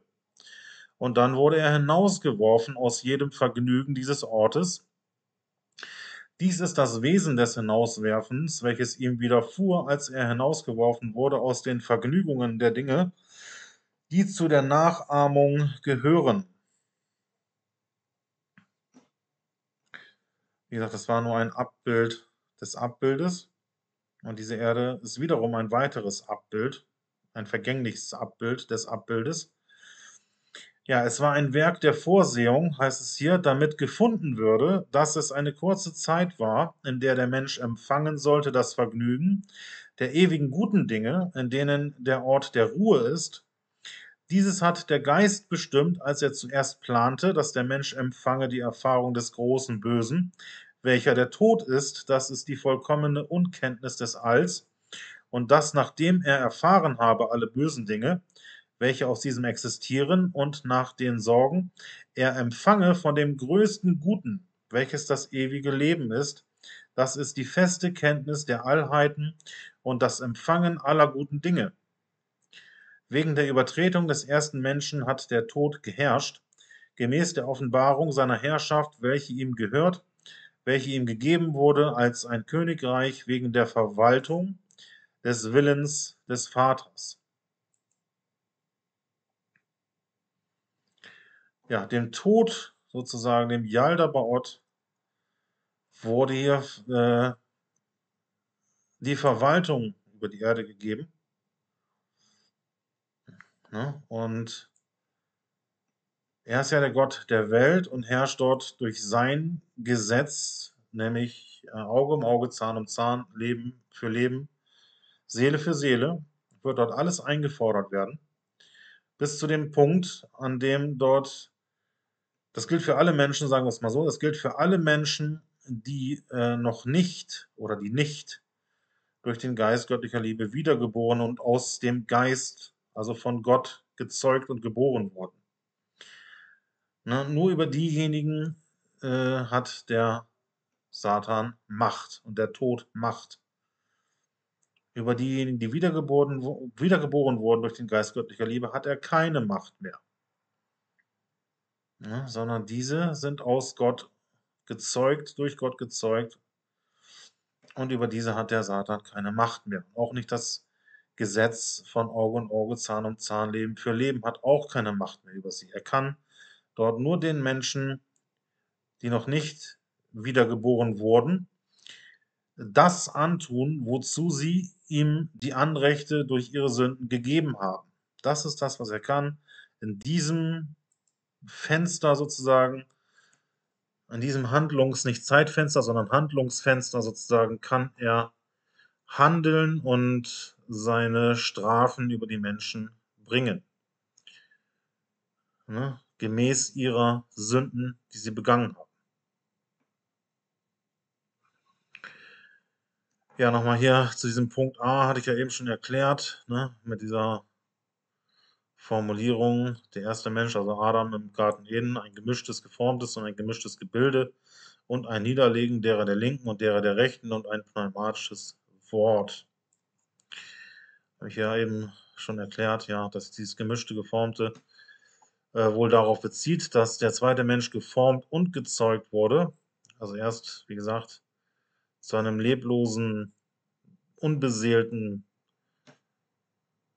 äh, wie sagt man, äh, Menschen kann man es ja noch nicht nennen, ne, zu einem leblosen, unbeseelten Etwas dort geformt wurde, bevor ihm dann der äh, Lebensodem eingehaucht wurde und er ein beseeltes Wesen sozusagen wurde. Und wie gesagt, das Niederlegen derer der Rechten und derer der Linken oder andersrum, ne, ruht wahrscheinlich darauf, dass in ihm Gut und Böse waren, ne, da die Rechten zu Gott und die Linken zum Feind gehören, auch in der gnostischen ähm, Auslegung und gnostischen Verständnis. So, auch hier nochmal, äh, das ist jetzt hier ähm, aus, dem, aus, dem, aus der Exegese der Seele, ebenfalls hier eine Schrift aus der, aus den Nakamadi-Schriften wo hier sehr, sehr gut beschrieben wird in dieser Schrift, wie dort die Wiedergeburt sozusagen der Seele geschieht, wie sie sich wieder vereint mit ihrem wahren Bräutigam, dem lebenspendenden Geist, dem Christus, äh, ja, wie sie sich dort im himmlischen Brautgemach für immer mit ihm vereint. Ja, es ist, äh, niemand weiß, an welchem Tag sich Mann und Frau miteinander vereinigen. Nur sie allein wissen es denn im Geheimen vollzieht sich die Hochzeit der Welt bei allen, die sich eine Frau genommen haben. Wenn sich aber schon die Hochzeit der Befleckung, sprich der sexuellen, physischen Vereinigung im Geheimen vollzieht, um wie viel mehr ist dann die unbefleckte Hochzeit im himmlischen Brautgemach ein wirkliches Geheimnis und Mysterium. Denn sie ist nicht fleischlich, sondern rein. Sie entspringt nicht etwa der sklavischen Begierde und den Gelüsten, der fleischlichen Gelüsten, sondern sie entspringt dem frei gewordenen Willen. Sie gehört nicht zur Finsternis und Nacht, sondern zum Tag und zum Licht. Wenn eine Hochzeit sich nicht im Geheimen vollzieht, so wird sie zur Unzucht. Und die Braut begeht Unzucht nicht nur, wenn sie den Samen eines anderen Mannes empfängt, Ne? Auch hier ist natürlich äh, das wieder im Gleichnis und sinnbildlich gesprochen. Wer dieser anderen, der Same des anderen Mannes ist, das kann ja dann nur der Same des Satans sein und nicht der gute Same, der in uns gesät wurde. Dann äh, begeht sie dann halt Unzucht. Ne? Genauso wie wenn halt die Hochzeit nicht im Geheimen geschieht, sondern man ja im übertragenen Sinne äh, gesprochen dort auf, auf offener Straße in der Öffentlichkeit dort Geschlechtsverkehr hat. Ich sage es jetzt einfach nur, um damit die, die Schwierigkeit haben, zu verstehen, was durch die Gleichnisse gesagt wird hier, um es einfach nochmal zu sagen. Es gibt ja viele, die ja sich dann auf die offenbare Bedeutung der Gleichnisse dann irgendwie beziehen und darüber sonst was für äh, Geschichten erzählen und darauf rumreiten, anstatt sich auf das zu konzentrieren, was damit eigentlich gesagt wird und gesagt werden soll. Ja, denn dadurch, alleine deswegen ist das ja der Grund, warum in Gleichnissen gesprochen wird, damit die Mysterien, die dahinter stecken, verstanden werden können, die der Mensch aber nur dazu äh, äh, zu verstehen in der Lage ist, wenn sie mit Dingen gesprochen werden und verglichen werden, die er kennt in seinem irdischen Leben hier. Na, das ist der einzige Grund, warum Jesus in Gleichnissen gesprochen hat, damit wir die Mysterien, die himmlischen Mysterien, über die Dinge erkennen und nachvollziehen, die wir hier auf Erden tagtäglich erleben, in der Natur und wie auch immer. Auch zum Beispiel ein weiteres Beispiel, wo Jesus dieses Beispiel, dieses, dieses Gleichnis erzählt hat mit den Knechten, die jeweils dort äh, Talente bekommen haben. Äh, die meisten haben die, diese Talente vermehrt. Einer jedoch, der hat dieses Talent vergraben und nicht vermehrt. Und manche ganz schlaue Leute, äh, die äh, nehmen diesen Vers her und äh, weil natürlich die Juden ja äh, seit Jahrtausenden dafür auf der ganzen Welt bekannt sind, überall dort, wo sie waren, haben sie ja durch dieses Wucherkreditgeschäft dort die Nation seit jeher versklavt und ausgebeutet und ausgelutscht bis zum letzten Heller und Schekel.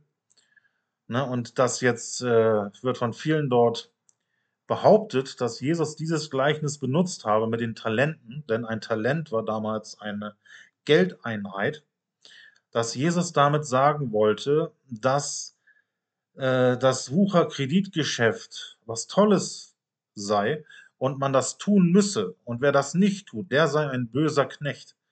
Also wie gesagt, erkenntnisfreier kann eine Auslegung eines solchen Textes oder eines solchen Verses von Jesus dem Christus natürlich nicht sein, sondern er hat diese Dinge in diesem Gleichnis gesagt, weil natürlich die Juden auch schon damals zu seinen Zeiten für diese Dinge bekannt waren, nämlich durch dieses Wucherkreditgeschäft, ne, wo er ihnen ja auch immer wieder gesagt hat, sammelt euch keine Schätze auf Erden, sondern Schätze im Himmel. Denn die Schätze auf Erden, die werden gestohlen oder verrosten oder verrotten und dergleichen, werden durch Motten gefressen oder durch Rost gefressen oder durch Diebe gestohlen, aber die Schätze im Himmel, die kann euch niemand mehr wegnehmen. Und deswegen hat er damit natürlich äh, gesprochen. Mit diesen Talenten waren natürlich nicht sprichwörtlich dort irgendwelche Geldbeträge gemeint, die dort investiert werden sollen, beziehungsweise verliehen werden sollen, um dann mehr wieder zurückzufordern.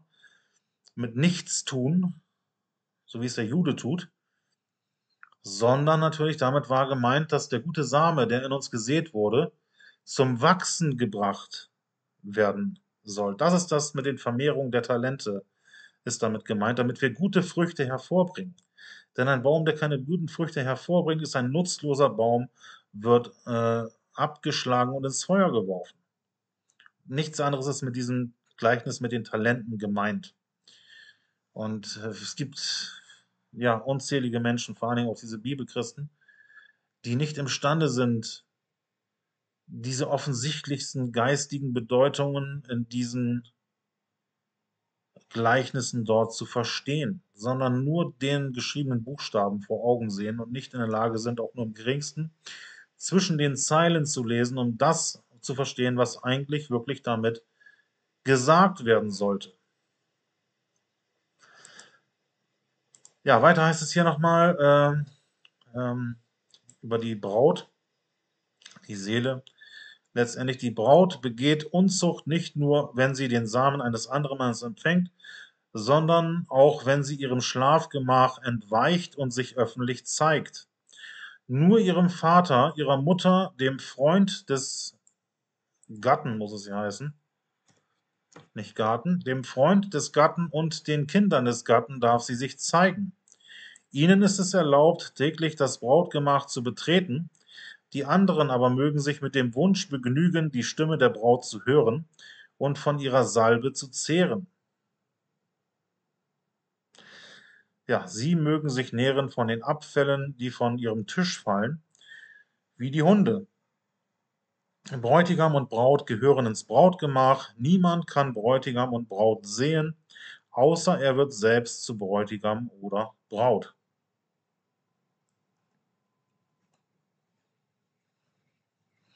Weiter heißt es hier in der Nakamadi-Schrift Exegese der Seele, derselben, wo ich gerade schon gelesen habe.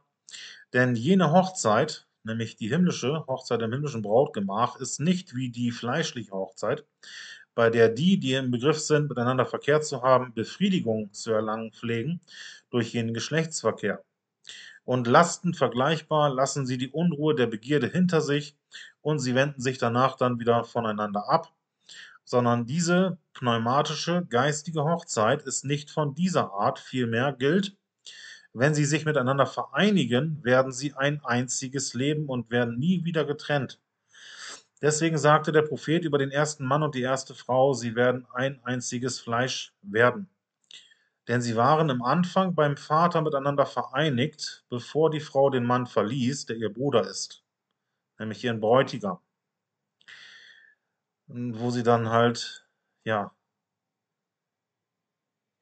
Un ähm, Unzucht beging und rumhurte, ihren Bräutigam verließ. Diese pneumatische Hochzeit hat sie wieder miteinander verbunden und die Seele vereinigte sich mit dem, den sie wirklich liebt, nämlich ihrem naturgemäßen Herrn, wie es geschrieben steht, der Herr der Frau ist nämlich ihr Ehemann, der Christus der Bräutigam. Nach und nach erkannte sie ihn und sie freute sich wieder, wobei sie vor ihm weinte, als sie der Schande ihrer früheren Witwenschaft gedachte, als sie dort in die Hurerei verfiel und sich von ihrem wahren Bräutigam getrennt hat und rumgehurt hat. Ja, sie schmückte sich äh, dann aber noch mehr, damit er Gefallen daran finde, bei ihr zu bleiben. Mit Schmücken ist natürlich nichts anderes gemeint, als sich wieder zu reinigen von aller Unreinheit Ne? Damit, damit sie dann als rein empfunden wird, als würdig empfunden wird, wenn der Bräutigam dann kommt, um sich mit ihr zu vermählen im, im himmlischen Brautgemach. Ja, und der Prophet sagt in dem Psalmen, höre meine Tochter und sieh und neige dein Ohr und vergiss dein Volk und das Haus deines Vaters, denn der König hat deine Schönheit begehrt, denn er ist dein Herr. Er verlangt von ihr, dass sie ihr Antlitz äh, von ihrem Volke und der Menge ihrer Ehebrecher abwende, in deren Mitte sie früher war. So, Entschuldigung, muss ich nochmal verbessern hier. Also er verlangte von ihr, der Bräutigam verlangte von ihr, der, der äh, verunreinigten Seele, dass sie ihr Antlitz dann von ihrem Volk und der Menge ihrer Ehebrecher sich dann abwendet, in deren Mitte sie früher war, und sich dann allein an ihren König halte, ihren wahren Herrn und dass sie das Haus ihres irdischen Vaters vergesse, bei dem es ihr schlecht erging, und sich an ihren Vater erinnere, der im Himmel ist. So wiederum wurde zu Abraham gesagt, komme heraus aus deinem Land und deiner Verwandtschaft und dem Hause deines Vaters. Als sich die Seele so wiederum geschmückt hatte in ihrer Schönheit, traf sie ihren Geliebten, den Bräutigam, und auch er liebte sie. Und als sie sich mit ihm geschlechtlich vereinte, natürlich hier geistig gesprochen, da empfing sie dann auch den Samen von ihm, das ist der Geist, der lebendig macht, der ewiges Leben schenkt, damit sie durch ihn Kinder gebäre, die gut sind und damit sie sie großziehe. Denn dies ist das große, vollkommene Wunder der Geburt, der Wiedergeburt durch den Geist. Und so vollzieht sich diese Hochzeit nach dem Willen des Vaters. Es ist aber angemessen, dass diese Seele oder dass die Seele sich selbst wieder hervorbringt und wieder wird, wie sie früher, früher war. Ne? Sprich, äh, es ist angemessen, dass jeder Mensch selbst verantwortlich ist, seine Seele wieder zu reinigen von all diesen Gräueln und Unreinheiten die dort durch die Hurerei, die geistige Hurerei entstanden sind. Ja, die Seele bewegt sich äh, durch sich selbst und sie empfing daraufhin die göttliche Natur vom Vater für ihre Erneuerung, damit man sie wieder an den Ort versetzen kann, an dem sie von Anfang an war. Das ist die Auferstehung von den Toten, das ist die Errettung aus der Gefangenschaft, das ist der Aufstieg zum Himmel, das ist der Weg hinauf zum Vater.